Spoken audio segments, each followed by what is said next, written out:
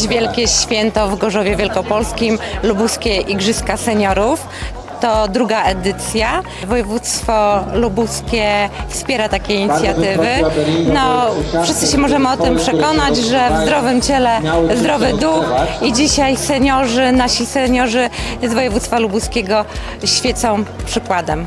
Mamy cztery konkurencje. E, Zaczęliśmy od Ringo, które właśnie trwa razem z Bocią. Później będą elementy koszykówki. E, I na koniec e, zostaje pływanie w Centrum Sportowo-Rekreacyjnym Słowianka.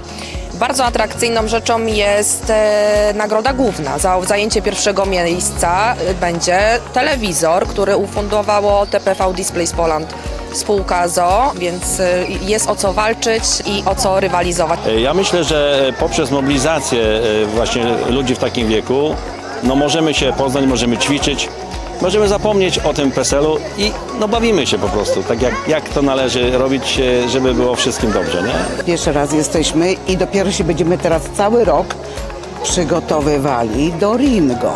Mamy zamiar sobie kupić, łapać. Grażynka już dobrze jej szło. Jeśli będziemy zdrowe i, i wszystko będzie dobrze, przyjedziemy drugi raz, ale poćwiczymy, potrenujemy. Mamy halę w Dobiegniewie, mamy y, y, kogoś, kto nas potrenuje, WF-istę, także myślę, że będzie dobrze.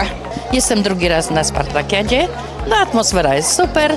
Już w jednej konkurencji braliśmy udział, mamy wygraną. Co będzie do końca, zobaczymy. Lubuskie Igrzyska Seniorów są niezwykle ważne, dlatego że dajemy szansę y, seniorom zaprezentować się w zupełnie nowej roli sportowców. Seniorzy są bardzo aktywni, są w uniwersytetach trzeciego wieku, mają swoje e, koła seniorów y, i tam się rozwijają intelektualnie, bo malują, piszą poezję, robią zdjęcia, uczą się języków. Natomiast Igrzyska Seniorów są po to, żeby też się wykazali sprawnością fizyczną.